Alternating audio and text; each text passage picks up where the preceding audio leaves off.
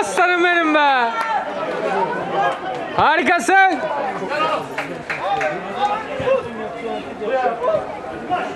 Bravo Yusufcan.